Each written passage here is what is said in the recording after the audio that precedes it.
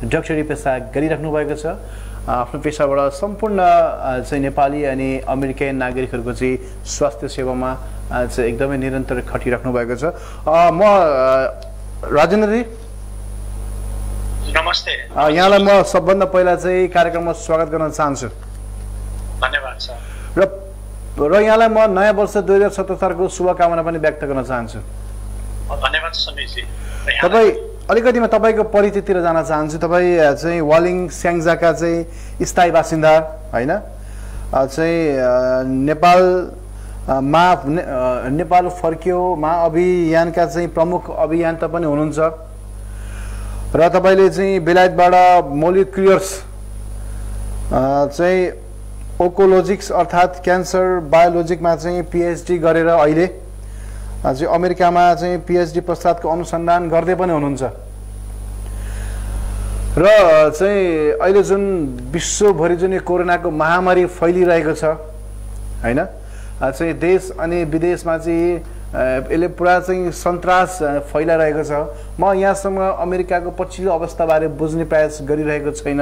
म यहाँसँग के बुझ्न प्रयास गरिरहेको छु भने जुन यो कोभिड नाइन्टिन कोरोना भाइरस भनेर जुन चाइना चाहिँ वान प्रान्तबाट चाहिँ यो सुरुवात भयो यो भाइरस भनेको के हो?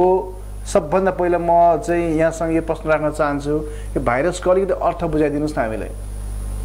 हजुर नमस्ते समीरजी। हजुर। खुसी लाग्यो एकदमै खुसी लाग्यो धन्यवाद छ। भाइरस भनेको चाहिँ यो यसलाई नेपालीमा विषाणु भन्छौँ र भाइरस यो एकदमै सूक्ष्म एउटा कण जस्तो हो। यो सूक्ष्म जीव पनि होइन र। निर्जीव पनि होइन। यो सजीव र निर्जीवको सूक्ष्म जीवाणुको यो बोर्डर लाइनमा छ। एउटा कण जस्तै हो आँखाले देख्न सकिँदैन। अत्यन्त सानो ब्याक्टेरिया। भन्दा पनि हजारौँ गुणा सानो हुन्छ यो। हुन त यसको आकार सानोदेखि ठुलोसम्म हुन्छ तर साधारणतया अत्यन्त सानो हो। र। यो जब मानिसको अथवा अरू कुनै सजीव जन्तुको शरीरभित्र पर्छ पस्छ सजीव प्राणीको जीवित प्राणी यो प्राणीको भित्र पस्छ कोशिकाभित्र पस्न सक्छ। अनि मात्र यो जीवित जस्तै व्यवहार गर्छ। यसले र आफू जस्तै अरू भाइरस सन्तति भाइरस बनाउन सक्छ र यसले हामीलाई अप्ठ्यारो पार्ने हो। जस्तै यो कसरी उत्पादन भयो यो? के उत्पादन भयो? भाइरस भनेको खास के हो भने अब हामीले डिएनए भनेर भन्छौँ अथवा आरएनए भन्छौँ अथवा एक किसिमको वंशाणु भन्छौँ। यो यसको संरचना भनेको एउटा सानो भनेर यसको आफ्नो डिएनए अथवा आरए हुन्छ वंशाणु हुन्छ। र बाहिर चाहिँ यसको प्रोटिनले कोट गरिएको हुन्छ। बाहिर को कुरोले छोपिएको हुन्छ। त्यसले गर्दा नयाँ भाइरस बनाउनु भनेकै आफ्नो डिएनएलाई प्रोटिनले छोपेर एउटा सानो आकार दिनु मात्रै नै हो। त्यसले गर्दा हामीले यसलाई कहिले काहीँ भाइरस मसिनरी पनि भन्ने गर्छौँ। जस्तै अन्य सूक्ष्म जीवाणुहरू सूक्ष्म जीवहरू कस्तो हुन्छ भन्दाखेरि उनीहरू एककुशीय भए पनि एक जटिल संरचना हुन्छ। उनीहरूको न्युट्रिएन्ट लिने अथवा चाहिँ श्वास प्रश्वास गर्ने होइन उनीहरू हावामा पानीमा जमिनमा बाँच्न सक्ने हुन्छ जस्तै हामी ब्याक्टेरिया भन्छौँ जीवाणु भन्छौँ नेपालीमा ब्याक्टेरिया त्यो चाहिँ आफैमा एक किसिमको कम कम्प्लेक्स जटिल संरचना भएको आफै प्रजनन गर्न सक्ने खालको सूक्ष्म जीव हो। तर भाइरस भनेको खास सोच्यो भने केही पनि होइन किनभने यो अत्यन्त सरल संरचना हुन्छ। तर यसले जब हाम्रो कोषमा गएर सङ्क्रमण गर्छ उसले चाहिँ आफूसँग भएको डिएनए धेरै बनाउनु पर्यो र आफूसँग भएको जुन प्रोटिन धेरै बनाउनु पर्यो र डिएनएलाई कुरोले छोप्नु पर्यो। त्यति गर्यो भने पनि हामीलाई सङ्क्रमण गरेर यसले एकदमै हानि गर्न सक्ने भयो। जस्तै यो कसरी सङ्क्रमण हुन्छ यो भाइरस। अब कस्तो हुन्छ भन्दाखेरि यो हाम्रो शरीरभित्र पस्ने यसका विभिन्न उपायहरू हुन्छन् र यो भाइरस बिच फरक हुन्छ। कुनै भाइरसले सबै भाइरसले हाम्रो शरीरका सबै भागमा अथवा सबै कोषमा गएर सङ्क्रमण गर्न सक्दैनन्। किनभने अ, कहिलेकाहीँ मैले इक्जाम्पल के दिन्छु भन्दाखेरि कुनै ताला चाहिँ त्यो सबै चाबीसँग मिल्दैन। त्यस्तै भाइरसको जुन बाहिरको प्रोटिन हुन्छ त्यहाँ कहिलेकाहीँ एउटा सुगर भन्छौँ हामी कार्बोहाइड्रेट त्यो अलिक अरू हामीसँग हाम्रो शरीरमा टाँसिने संरचना यसले बनाएको हुन्छ। कुनै काँडा जस्तो हुन्छ कुनै आङकुसी जस्तो हुन्छ अथवा कुनै सिधा होला हाम्रो शरीरमा गएर टाँसिनको लागि। केही न केही एउटा संरचना बनाएको हुन्छ।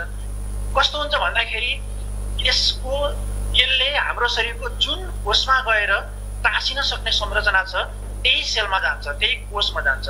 र कोभिड नाइन्टिन कज गर्ने जुन कोभिड नाइन्टिन को लागि जुन भाइरस छ कोरोना कोप टू भन्ने सार्स कोप टू भन्ने हामी कोरोना परिवारभित्रको भाइरस हो यो। अरू भाइरस पनि लाई पनि हामी कोरोना परिवारकै भाइरस भन्छौँ। एउटै परिवार एउटै फ्यामिलीभित्र पर्ने हो। यो भाइरस चाहिँ हाम्रो शरीरको फोक्सोको एलबिओलाई भन्ने सेल्समा गएर टाँसिन सक्छ र टाँसिसकेपछि यसले आफ्नो डिएनएलाई भित्र पठाउँछ र त्यो डिएनएले हाम्रो शरीरको संरचना प्रयोग गरेर आफ्नो डिएनए र अरू प्रोटिन बनाउँछ र हजारौँ भाइरस उत्पादन हुन्छन् एउटै कोषभित्र। र अनि कोष च्यातेर फाडेर अनि यो चाहिँ अथवा कोषलाई मारेर यो बाहिर निस्किने हो। यसको सबभन्दा एकदमै ठुलो चुनौती भनेको एउटा भाइरस एउटा कोषभित्र गयो र बाँच्न सफल भयो भने अथवा उसले आफ्नो डिएनएलाई कोषभित्र बनाउन सक्नु गयो भने मैले डिटेल भन्दै छैन यो भित्र भाइरसले हाम्रो कोषमा टाँसिसकेपछि भित्र कसरी आफ्नो डिएनए पठाउँछ ठुलो मेकानिजम चाहिँ एक प्रकारको तर अहिलेलाई साधारण रूपमा भन्नु पर्दाखेरि एउटा भाइरसले एउटा कोषलाई सङ्क्रमण गरिसकेपछि उसले हजारौँ भाइरस बनाउँछ कोषलाई मारेर च्यातेर उसले ऊ बाहिर निस्किने जस्तै यो जुन कोरोना भाइरस चाहिँ शरीरमा छिरिसकेपछि कोभिड नाइन्टिन चाहिँ कसरी चाहिँ यो रोग लाग्छ? कोभिड नाइन्टिन चाहिँ अब यो यो भाइरसको लागि अब हामीले साधारण भाषामा कोरोना भाइरस नै भनौँ अहिलेको लागि। यो कोरोना भाइ कोरोना भाइरस ले हाम्रो शरीरमा गएर अघि मैले भने जस्तै कोषमा टाँसिन एउटा रेसेप्टर भन्छ। यसलाई जस्तो उनीहरूको लागि तालामा गएर ताला खोल्नु भने जस्तै गएर त झुन्डिनु भने जस्तै टाँसिन। त्यसलाई हामी ACE two ACE two ACE two भन्ने एउटा रेसेप्टर हुन्छ। त्यो हाम्रो शरीरको विभिन्न केही सेल्सहरूमा हुन्छ। त्यसमध्येमा एउटा भनेको अहिले अब चर्चामा आएको जुन हाम्रो श्वास प्रश्वास प्रणाली सम्बन्धी समस्या देखाउँछ यो भाइरसले यो रोगले। यसलाई चाहिँ यो अल्भियोलाई हजुर। पछि त्यो सेल्सलाई यसले नष्ट गर्ने भयो। एउटा सेल्समा जाने भयो त्यो सेल्सलाई सङ्क्रमण गर्ने भयो त्यहाँबाट हजारौँ भाइरस निस्किने भए ती हजारौँ भाइरसले अरू नयाँ हजारौँ कोसेलाई कोशिकाहरूलाई सङ्क्रमण गर्ने भए ती हजारौँ कोसेबाट निस्केको फेरि अरू प्रत्येक सेल्सबाट फेरि अरू हजारौँ निस्किने भयो। यसले गर्दा यो यति द्रुत गतिमा धेरै बन्ने भयो कि त्यसले गर्दा जब हामीलाई सङ्क्रमण हुन्छ हामीलाई दुईदेखि चौध दिनसम्ममा हाम्रो शरीरको रोग प्रतिरोध क्षमता हेरेर यसले चाहिँ हामीलाई लक्षण देखिन सुरु गर्छ। तर सबैमा लक्षण देखिन्छ भन्ने होइन त्यो अहिले आउला त्यसमा। अब हाम्रो शरीरको जुन कोष हो अहिले भाइरसले हामीलाई सङ्क्रमण गर्ने त्यो भनेको अल्भियोलाई सेल भनेको त्यो भने हामी यो फोक्सोमा हुन्छ। हामीले सास लिँदाखेरि त्यो सेल्स फुल्छ त्यो हावाको थैली जस्तै हो झिल्ली जस्तो पातलो बलुन जस्तो भनौँ। उनीहरूको लागि बलुनले के हुन्छ हामी हावा दिन्छौँ त्यो बलुन फुक्छ। हामी त्यसलाई चाहिँ हामीले खुम्च्याउन सक्छौँ अथवा त्यसलाई प्रेसर गऱ्यौँ प्रेस गऱ्यौँ भने चाहिँ त्यहाँबाट हावा निस्किन्छ। अथवा हामीले सास फेर्दा लङ लङ्समा हाम्रो फोक्समा अक्सिजनलाई लिन सक्ने र त्यहाँबाट अक्सिजन शरीरको विभिन्न भागमा पठाउने र विभिन्न भागहरूबाट आएको कार्बन डाइअक्साइड फोक्समा आइसकेको कार्बन कार्बन डाइअक्साइडलाई शरीरभन्दा बाहिर पठाउने जुन अक्सिजन र कार्बन डाइअक्साइडको एक्सचेन्ज हुने जुन मेन पोइन्ट हो त्यो संरचना त्यो भनेको अल्भियोलाई सेल्सहरू फोक्समा भएको। जब त्यसलाई नै ड्यामेज गर्छ अनि हामीलाई श्वास प्रणालीमा समस्या हुने भयो। जस्तै यो अघि जुन चाहिँ श्वास प्रणासमा चाहिँ जुन उत्पादन जुन श्वास प्रश्वास गर्दाखेरि जुन समस्या आउँछ भन्छ होइन यो खास चाहिँ कसरी हुन्छ? साधारण भाषामा अलिकति छोटो मिठो अलिक अलिकति बुझाइदिनु न। हजुर। यो चाहिँ जुन हामीलाई हाम्रो शरीरमा हामीलाई हामीले श्वास फेर्दा के हुन्छ भन्दा हामी श्वास फेर्छौँ त्यो भनेको अक्सिजन लिन्छौँ। अक्सिजनलाई हामीले रक्त नलीको सहायताले हाम्रो रा रक्त रातो रक्त कोषमा गएर अक्सिजन रातो रक्त नलीबाट रातो रक्त कोषमा अक्सिजन जान्छ र त्यो अक्सिजन रगतको माध्यमबाट शरीरको विभिन्न कोषहरूमा जान्छ र हामीले खाएको खाना न्युट्रियन्टहरूलाई अथवा त्यो पर हामी बाँच्नु भनेको हाम्रा प्रत्येक कोशिकाहरू बाँच्ने हो शरीरमा। जब हामी अक्सिजन लिन्छौँ र त्यो शरीरभरि पठाउने भनेको त्यो पोक्सोको सेल्स हो कोशिका हो। र शरीरभरि जम्मा भएका कार्बन डाइअक्साइड हाम्रो फोक्सोमा आउँछ र हामी फोक्सोबाट फ्याँक्छौँ। झ्याम्प हेर्दा हामीले अक्सिजन लिएर कार्बन डाइअक्साइड फ्याँक्छौँ तर त्यो तुरन्त त्यही अक्सिजन लिएर फ्याँके कार्बन डाइअक्साइड फ्याँकेको होइन। हामीले अक्सिजन लिने हो र त्यसलाई शरीरभरि पठाउने हो। हाम्रा प्रत्येक कोशिकाहरूमा त्यो अक्सिजन जाने हो। र प्रत्येक कोशिकाबाट भनौँ अरबौँ कोशिका छ हाम्रो शरीरमा अरबौँ कोशिका छ। त्यो कोशिकाबाट आएको अक्सिजन कार्बन डाइअक्साइड जम्मा भएको फोक्सोमा आउने हो। अक्सिजन लिने त्यसलाई शरीरभित्र पठाउने कार्बन डाइअक्साइड आउँछ त्यसलाई फेरि बाहिर पठाउने हो फोक्सोले। त्यो त्यो गर्ने कोशिका भनेको अल्भियोलाई हो र यही अल्भियोलाई नै यो भाइरसले ड्यामेज गर्ने भयो डिस्ट्रोय गर्ने भयो अथवा चाहिँ मासिदिने भयो आक्रमण गरेर सङ्क्रमण गरेर। अनि हाम्रो जुन संरचना अथवा जुन कोशिकाले हाम्रो शरीरको हामीलाई अक्सिजन लिन र कार्बन डाइअक्साइड फेक्न सहयोग गर्थ्यो त्यो नै नभएपछि त हामीले श्वास प्रश्वास गर्नै सक्ने भएनौँ। त्यसले गर्दा चाहिँ हामीले यो भेन्टिलेटर दिने भनेको जब हाम्रो फोक्सोले काम गर्दैन अनि हामी यो त कृत्रिम कृत्रिम श्वास यो यो फोक्सो बनाए जस्तो यो भेन्टिलेटर भनेको मोरलेस होइन जस्तै जस्तै डक्टर साहब। यो सरकारले हामीलाई चाहिँ यो कोरोना उपचार गर्नलाई चाहिँ अथवा पटक पटक साबुन पानीले हात धुनुपर्छ भनिरहेको छ होइन? जस्तै कतिपल्ट चाहिँ साबुन पानीले हात धुनुपर्ने हो होइन? र यो एक अर्कामा चाहिँ कति मान्छे टाढा बस्नुपर्ने हो होइन? अनि अथवा चाहिँ यो के महत्त्वपूर्ण छ? यो गर्नुपर्ने खालको केही छ? एकदमै महत्त्वपूर्ण छ। एकदमै राम्रो प्रश्न गर्नुभयो। खास कारण चाहिँ के हो त? खास कारण चाहिँ? हो. यो कस्तो छ भन्दाखेरि भाइरसको अघि मैले भने जस्तै यसको जुन संरचना छ भाइरस पार्टिकल भनौँ कण भनौँ अथवा यो जुन विषाणु भनौँ यो विषाणु हाम्रो शरीरमा आयो भने भित्र जान सक्ने भनेको नाकबाट बाट त आँखाबाट हो अहिले। अब हाम्रो हातमा अथवा हाम्रो कपडाहरूमा हुनसक्छ हाम्रो जुत्ताबाट आउन सक्छ तर मेन चाहिँ हाम्रो शरीरभित्र जाने भनेको त हामीले हाम्रो हातबाटै हो। बढी मात्रामा हात किनकि हामीले हात अनुहारमा लगाउँछौँ। नाकमा लगाउन सक्छौँ कहिलेकाहीँ। हातले नै खान्छौँ हाम्रो खानाहरू। त्यसले गर्दा चाहिँ हामीले यदि हाम्रो हातमा यसको कण छ जुन भाइरस आएर बसेको छ भने यसलाई यो त अत्यन्त सानो भयो। अब यत्तिकै निकाल्न फेक्न सकिँदैन हामीले। यति सानो भयो कि हाम्रो स्किनमा हातमा छालामा टाँसिने भयो र त्यसलाई धोएर नष्ट गर्ने हो हामीले। त्यो भनेको साबुन पानीमा जुन डिटर्जेन्ट हुन्छ रसायन हुन्छ त्यसले बाहिरको जो बाहिरको भाइरसको संरचना भएको बाहिरको जुन सतहको संरचना छ त्यसलाई हामीले ग्लाइको प्रोटिन भन्छौँ। प्रोटिन र कार्बोहाइड्रेट मिलेर बनेको उसको एउटा जुन संरचना छ त्यसलाई हामीले नष्ट गरिदिने ब्रेक गर्न सक्छ साबुन पानीले। साधारण भाषा भन्नु पर्दाखेरि पगाल्न सक्छ भनौँ अझै त्यसले गर्दा भाइरस नष्ट हुने भयो। भाइरस मर्ने भयो पनि नभनौँ। भाइरसलाई नष्ट गर्न सहयोग गर्ने भयो। उसको संरचनालाई बर्बाद गरेर। त्यसले गर्दा साबुन पानीले बिस सेकेन्ड लगातार धुनुपर्छ किनभने उसलाई पगाल्नको लागि जस्तै हामीले केही कुराहरू घिउ पगाल्न पनि त हामीलाई केही सेकेन्ड लाग्ला कति कति तातोमा भन्ने होला। त्यसै गरेर हाम्रा चिज त्यो आगोले हामीलाई केही अथवा कुनै रसायनले कुनै चिजलाई बिगाएर त केही समय लाग्छ नि। त्यसै गरेर भाइरसलाई पगाल्नलाई त्यो उसको संरचना नष्ट गर्नलाई बिस सेकेन्ड कम्तीमा साबुन पानीले हात धुने हो। त्यो भनेको बिस सेकेन्ड साबुन र पानीले मिचेर हात धुने त्यस मिचेर त्यसपछि मात्रै हात धुयो साबुन एकछिन लगायो अनि बिस मिनट पानीले धुने होइन कि बिस सेकेन्ड साबुन पानीले हात मिच्ने राम्रोसँग अनि मात्रै हाल्ने हो। जस्तै भाइरसलाई नष्ट गर्ने हो। जस्तै डाक्टर साहब कतिपय कतिपयले त मानिसहरूले चाहिँ यो भाइरस मानिसहरूले बनाएको हुनसक्छ नि भनिरहेका छन् होइन? यसमा कतिको सत्यता वा चाहिँ सम्भाव्यता छ? एकदमै राम्रो प्रश्न गर्नुभयो। यो मैले पनि कहिलेकाहीँ सुन्छु मैले आफन्तसँग साथीभाइसँग नेपालमा कुरा गर्दा पनि मलाई यो प्रश्न सोध्नुहुन्छ यो हो र भनेर।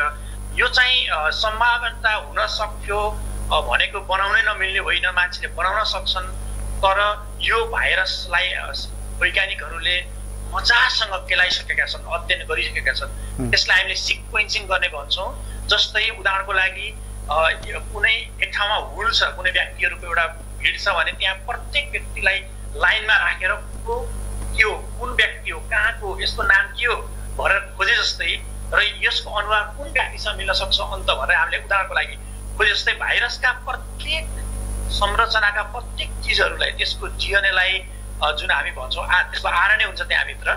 यो भाइरसमा कुनै भाइरसमा डिएनए कुनैमा आरएनए हुन्छ। त्यसलाई हामीले वंशाणु भन्छौँ जस्तो हाम्रो शरीरमा वंशाणु हुन्छ भन्छौँ हामी।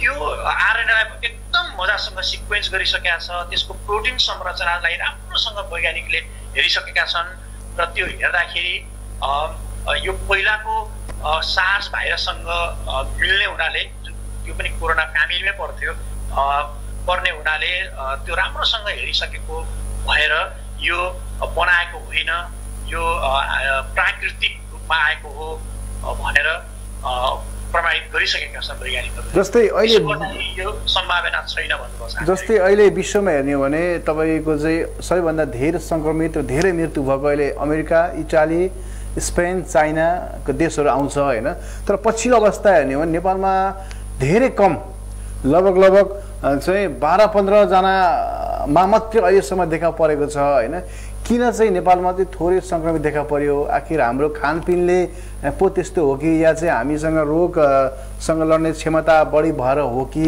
के हो खास? चाहिँ चाहिँ होइन यसको नेपालीहरूमा यो रोग नछोड्नु कारण चाहिँ के हो? अलिकति बताइदिनुहोस् न। एकदमै राम्रो प्रश्न गर्नुभयो हजुरले। यो मैले यो पनि बेला बेलामा सामाजिक सञ्जालहरूमा सुनेको छु पढेको पढ्छु साथीभाइहरूले पनि भन्नुहुन्छ। यो भाइरस भनेको हामीले के बुझ्नु पर्यो भने अरू ब्याक्टेरिया जस्तो होइन। अरू ब्याक्टेरियाहरू के हुन्छ भन्दाखेरि हामी जस्तो वातावरणमा बस्यौँ त्यो वातावरणमा ब्याक्टेरियाहरू हुन्छन् र त्यो हाम्रो शरीरमा गएर साथीको रूपमा बस्न सक्छन्। त्यसलाई हामी नर्मल फ्लोरा अथवा कमेन्सन्स भन्छौँ। हाम्रो शरीरभित्र गएर उनीहरू बस्न सक्छन्। साथीको रूपमा। त्यो फरक भयो। हामी ब्याक्टेरियासँगै ग्रो गर्छौँ हुर्कन्छौँ बढ्छौँ ब्याक्टेरियासँगै मर्छौँ। त्यो गर्दाखेरि के अरू व्यक्तिलाई हानिकारक हुने ब्याक्टेरिया पनि हामीले हाम्रो वातावरणमा हुर्किँदै गर्दा हाम्रो शरीर पनि एडजस्ट हुन्छ र ब्याक्टेरिया पनि एडजस्ट हुन्छ। एकअर्कामा कम्प्रोमाइज गरेर हाम्रो शरीरमा बस्न सक्छ। अब हामीलाई थाहै नपाए हुनसक्छ त्यस। तर भाइरस भनेको अलिक फरक चिज हो। यो भनेको यो न संरचना हुन्छ कुनै ठुलो मैले अघि भनिसकेँ। बाहिर शरीरभन्दा बाहिर बाँच्नै सक्दैन। ब्याक्टेरियाहरू अरू सूक्ष्म जीवहरू हामीलाई रोग लाग्न सक्ने लगाउन सक्ने सङ्क्रमण गर्न सक्ने सूक्ष्म जीवहरू बाहिर बाँच्न सक्छ आफै पनि। त्यो भाइरस भनेको त्यस्तो होइन एक। दोस्रो चाहिँ नेपालमा यो कम देखिनेको कारण चाहिँ के हो भने हाम्रो टेस्ट नै भएको छैन। अरू देशले एक दिनमा जर्मनीले एक दिनमा पचास हजार टेस्ट गरेको छ। अमेरिकाले अहिलेसम्म लगभग केही दिन पहिला बिस लाख भनेको थियो अहिले सायद तिस लाख पुग्यो होला अमेरिकामा। यति धेरै टेस्ट गरेको छ। भारतले पनि एक दिनमा हजारौँ टेस्ट गरेको छ। त्यसले गर्दा जब जति धेरै टेस्ट गर्छौँ हामीले धेरै सङ्क्रमित भेट्टाउने हो। नेपालमा सङ्क्रमण नभएको भन्ने होइन हाम्रो टेस्ट कम भएको एउटा मेन कारण मुख्य कारण हामीले टेस्ट नै कम गरेको हुनसक्छ एउटा कारण चाहिँ। अब दोस्रो चाहिँ नेपालमा जुन तपाईँहरूले अब हामीले लकडाउन गरेको सरकारले त्यो राम्रो कदम थियो। पहिलो कदम सरकारले राम्रो लिएको लकडाउनको कारणले गर्दा जुन रूपमा फैलिन सक्थ्यो त्यो नफैलिएको पनि हुन सक्ला। त्यो दुइटै कारण हुनसक्छ तर राम्रो जति टेस्ट गर्नुपर्थ्यो त्यो नगरेको चाहिँ हो। बढी गर्न सकेको भए बढी सङ्क्रमण पक्कै पनि भेटिन्थ्यो जस्तो लाग्छ साधारणतया हेर्दाखेरि। र तेस्रो कुरो चाहिँ हजुरले भन्नुभएको प्रश्न यो खानपानबाट हाम्रो शरीरको रोग प्रतिरोध क्षमता धेरै भएर भाइरसलाई जितेर बसेका होइनौँ हामी। विदेशमा पनि अरू देशहरूमा हजुरले नाम लिएका अरू देशमा पनि के हुन्छ भन्दा रोग प्रतिरोध क्षमता राम्रो भएको व्यक्तिलाई सङ्क्रमण भए पनि बचेका छन् अथवा चाहिँ लक्षण देखिएको छैन। त्यो त हामीले वैज्ञानिकले प्रमाणित गरेकै हुन्। रोग प्रतिरोध क्षमता भयो भने भाइरसलाई जित्न सकिन्छ भनेर। तर यो भाइरसको केसमा चाहिँ सबै नेपालीहरू त्यो प्रतिरोधक रोधात्मक छन् अथवा सबै नेपालीले यसलाई जितेर बसेका छन् भन्ने हुँदै होइन। हाम्रो टेस्ट कम भएको हो भन्ने मलाई लाग्छ। जस्तै अब यो वैज्ञानिकहरूको आँखाले हेर्नु पर्दाखेरि होइन नेपालले चाहिँ अब यो नेपालले गर्नुपर्ने के थियो होइन अब के गर्नुपर्छ होइन जस्तै अमेरिका लगायत अन्य धेरै देशमा चाहिँ यो ठुलो चाहिँ एकदम ठुलो सङ्ख्यामा चाहिँ सङ्क्रमित भयो। अब उनीहरूले कसरी ह्यान्डलिङ गर्दैछ? हजुर एकदमै यो पनि एकदम राम्रो प्रश्न गर्नुभयो आज हजुरले। मैले हामीलाई के लाग्छ भन्दाखेरि पहिलो कुरा फर्स्ट गभर्मेन्टले लिएको यो पहिलो स्टेप हेऱ्यो पहिलो कदम हेऱ्यो भने एकदम राम्रो थियो। सरकारले लकडाउन गर्यो र लकडाउन गरेर अथवा सोसल डिस्टेन्सिङ मेन्टेन गरेर अथवा एकअर्काबाट टाढा रहेर नै हामीले भाइरसलाई रोक्ने हो। पहिला सुरुमा हजुरले प्रश्न गर्नुभएको थियो कति फिट भन्नुभएको थियो छ फिट को दूरीमा राख्नुपर्छ भन्ने थियो। अहिले तेह्र फिट भन्ने पनि आइसक्यो आइरहेको छ। सत्ताइस फिटसम्म भन्ने पनि कुरा आइरहेको छ कि नयाँ भाइरस हो अझै वैज्ञानिकले अध्ययन गर्दैछन्। अहिलेलाई हामीले एकदमै बढी कम्तीमा पनि छ फिट भन्ने गरिएको छ। अब दोस्रो कुरा चाहिँ यसको मतलब यो फैलिन रोक्ने भनेकै टाढा बसेर हो लकडाउन गर्यो त्यो सरकारले सही गरेको त्यसपछि अब त्यस दुईवटा स्टेप गर्नु पर्थ्यो जुन अरू देशले गर्न गरे राम्रोसँग जुन हामीले गर्न सकेनौँ। एउटा चाहिँ जति सक्दो धेरैलाई टेस्ट गर्ने हो किनभने सयजना सङ्क्रमितहरू मध्येमा तिसजनालाई त यो लक्षणै देखिँदैन। हामीसँग भाइरस हुनसक्छ हामीले भाइरसलाई जितिसकेका हुन सक्छौँ हाम्रो भाइरसलाई मार्न चाहिने एन्टिबडी भन्ने रसायन हामीले शरीरभित्र शरीरले उत्पादन गरेर भाइरसलाई मारिसकेको हुनसक्छ र हामीले हाम्रो ब्लड निकालेर हेऱ्यौँ। त्यहाँभित्रबाट भाइरस त्यो टेस्ट गऱ्यौँ भने हामी त्यो ए मलाई त सङ्क्रमण भइसकेको रहेछ भनेर थाहा हुन्छ। अब पहिलो चाहिँ जति सक्दो धेरैलाई टेस्ट गर्नु पर्थ्यो र सङ्क्रमितहरूलाई चाहिँ आइसोलेट गर्नु पर्थ्यो क्वारेन्टिनमा राख्नु पर्थ्यो सरकारले जुन महमा गर्नु पर्थ्यो त्यो गर्न नसकेकै हो। अझै पनि जतिसक्दो सरकारले छिटो गर्नुपर्छ। सरकारले आफ्नो संरचना नभए पनि प्राइभेट अरू ल्याब्सहरू छन् एकदमै सिपमूलक राम्रो सिप भएका यसलाई टेस्ट गर्न सक्ने हामी जुन आरटिपिसिआर भन्छौँ टेक्नोलोजी त्यो गर्न सक्ने वैज्ञानिकहरू नेपालमा छन्। धेरै छन्। सा साथीहरू उहाँहरूको सहायता लिन सक्नु पर्थ्यो यो अझै पनि समय छ। म सरकारलाई यही अनुरोध गर्न चाहन्छु। जस्तै अरू देशले गर्न खोजेको चाहिँ एकदम छिटोमा म भन्न हाल्छु। अब लकडाउन कहिलेसम्म लम्बिने हो थाहा छैन। संसारकै उत्कृष्ट मध्येको यो सङ्क्रमण बाह्र सङ्क्रमणको विज्ञानमा अध्ययन गरेका वैज्ञानिक डक्टर एन्थनी फाउची जो ट्रम्पसँग सँगै हुन्छन् उनी व्यक्ति हुन् तपाईँहरूले अन्तर्वार्ता हेर्नुभयो होला। उनले भन्ने गर्छन् नर्मल यो जनजीवन सरल हुनलाई कम्तीमा पनि अब आउने मङ्सिरसम्म पुग्नुपर्छ भन्छ उनले नोभेम्बरसम्म। यसको मतलब के हो भने एकाएक शान्त हुने होइन। यो बिस्तारै घट्दै जाने हो। अब अहिले चाइनाले अलिअलि खुला गरेका थियो सयजना सङ्क्रमित बढे। हेर्नुहोस् है। यसको मतलब के हो भने हामी अझै जोखिममा छौँ। त्यसको लागि प्रत्येक व्यक्तिको हेर्नुहोस् लक्षण नदेखेका व्यक्तिहरूको पनि ब्लड टेस्ट गर्ने ब्लडबाट भाइरसले सङ्क्रमित भइसकेको हो कि होइन भनेर हेर्ने। हामीलाई सङ्क्रमित अघि भने जस्तै सङ्क्रमण भएर हामीले भाइरसलाई जितेर लक्षणै नदेखि बसेका हुन सक्छौँ हामी र ठिक भएको व्यक्तिलाई चाहिँ काममा पठाउन सक्छ। तर जसलाई सङ्क्रमण भएको छैन अथवा जसको सङ्क्रमण भएको देखिँदैन ऊ चाहिँ अझै आइसोलेसनमा बस्नु चाहिँ आइसोलेसनमा बस्नु चाहिँ भन्नुपर्ने हुनसक्छ अब यही जस्तै डाक्टर साहब अब जस्तै अबको भविष्यमा आउन सक्ने होइन यस प्रकारका जोखिमका लागि नेपालले चाहिँ कस्तो तयारी गर्नु पर्ला?